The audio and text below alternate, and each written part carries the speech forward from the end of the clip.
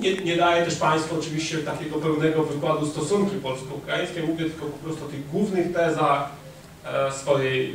e, swojej książki. I tak, czym nie zgadzam się, z jakimi twierdzeniami ukraińskich historyków, nie, nie, nie, nie, nie, nie zgadzam się. E, Pierwsza podstawowa teza, z którą się nie zgadzam, to jest to, w jaki sposób ukraińscy historycy bardzo często opisują e, działania OUN i UBA wobec, e, wobec Polaków. Oni e,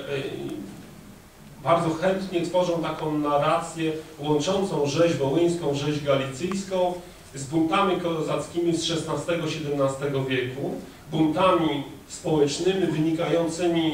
będącymi odpowiedzią na społeczną niesprawiedliwość, w domyśle no, poniekąd będącymi us, usprawiedliwionymi. I ja wyraźnie w swojej książce staram się, jak, jak najlepiej oczywiście, y, pokazać, że konflikt w czasie II wojny światowej ma zupełnie inny jednak charakter. Że inaczej nawet niż to było jeszcze w czasie I wojny światowej, gdzie mieliśmy do czynienia z pogromami, zniszczeniem wielu majątków polskich ziemiach. Tam rzeczywiście jeszcze w końcu I wojny światowej mieliśmy do czynienia przede wszystkim z elementem takiego społecznego, e, społecznej zemsty, można powiedzieć, na, na, na bogatych ziemianach, biednych ukraińskich chłopców. Jednak w międzyczasie było przez ponad 20 lat państwa polskiego, gdzie bardzo mocno posunęły się procesy, jeśli można tak powiedzieć, nacjonalizacji, gdzie e, oddziaływanie na siebie, takie zwarcie z jednej strony polskiej, y, polskiej propagandy państwowej, która starała się przekonać jak najwięcej osób, przede wszystkim tych rzeczywiście etnicznych Polaków, że są Polakami, bo wielu z nich się uważało tylko za tutejszych, nawet pod Sandomierzem,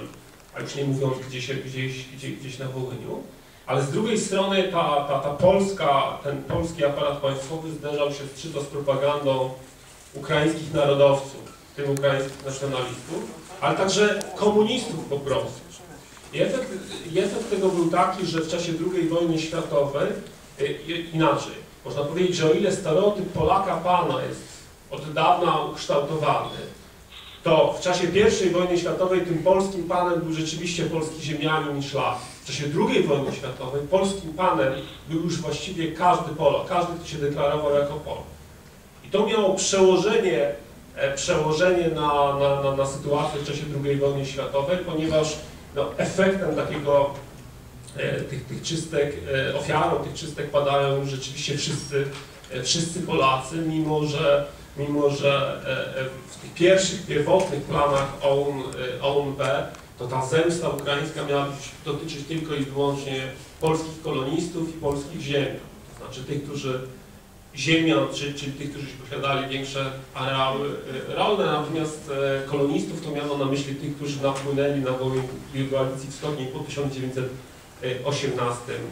18 roku. Ja pokazuję w swojej książce, jak, jak, jak, jak ukraińskie poglądy, na, poglądy ukraińskich nacjonalistów ewoluowały. Przed wojną właśnie oni chcą, mówią, że w przyszłym państwie ukraińskim nie ma miejsca dla polskich ziemian i dla polskich komunistów, yy, kolonistów. W 1941 roku, kiedy wybucha wojna niemiecko-sowiecka i banderowcy chcą, powołują na krótko rząd w Lwowie, rząd Jarosława Steczki, to w projektach państwowych tego rządu widać wyraźnie, że w międzyczasie zaszła zmiana, że banderowcy, że banderowcy chcą skopiować rozwiązania niemieckie na ziemiach wcielonych do III Rzeszy, między innymi polityki prowadzonej wobec Polaków na Pomorzu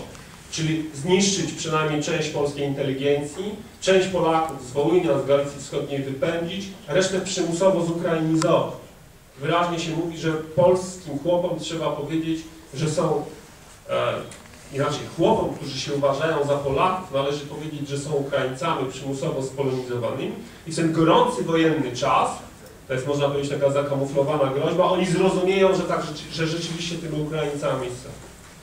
W końcu 1942 roku e, banderowcy e, już e, zmieniają, zmieniają swoje założenia